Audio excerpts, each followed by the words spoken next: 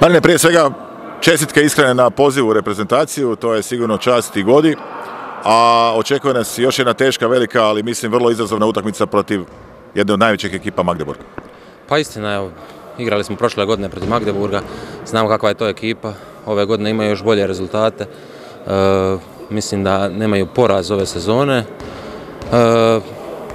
idemo gore napraviti sve što je moguće, imamo dosta i ozlijeđenih igrača, ali idemo napraviti sve što je u našoj moći e, da se vratimo s dva boda.